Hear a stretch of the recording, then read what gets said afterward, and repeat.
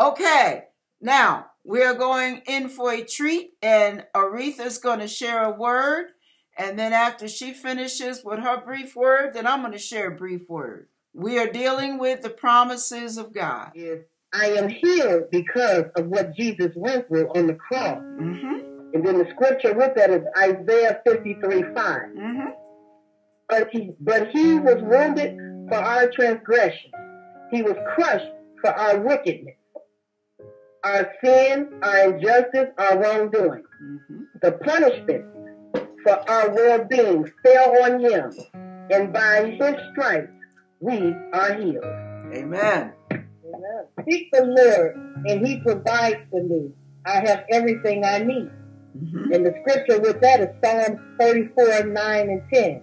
Fear the Lord, you his saints, for those who fear him lack nothing. The loins may grow weak and hungry, but those who seek the Lord lack no good thing. God gives me his wisdom, his understanding, and his preference to make it through the day. The scripture with that is Proverbs 8 and 14. Counsel is mine and sound wisdom. I am understanding, strength is mine. Thank you. Thank you. All right.